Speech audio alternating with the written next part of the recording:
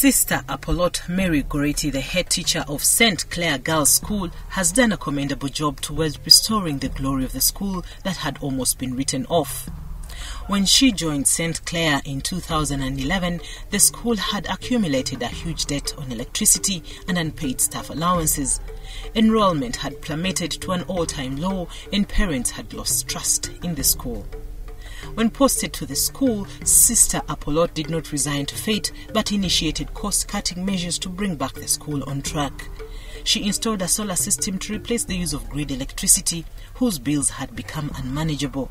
A poultry project and a banana plantation to supplement the pupils' diet and to improve the teachers' welfare. There were a number of issues in the school. I had to combine effort with the staff members whom I found on the ground. And then eventually we lobbied for some support from the stakeholders. We got funds and we renovated that classroom block.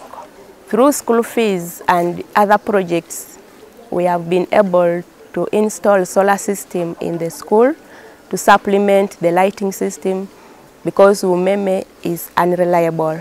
Now we have our good feeding. The staff members have diet.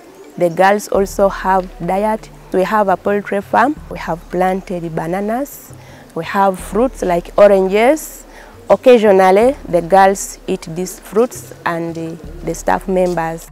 She gave attention to the development of skills like knitting, embroidery, and farming with the aim of making her pupils not only meet their immediate school needs but also become self reliant in future. This is to help girls, besides academics, to have skills training. So they make handwork, they make decorations, they make tablecloths, and uh, we sell them and we boost on our income. The nun also started a savings club and a girl child education movement. This school is an inclusive school.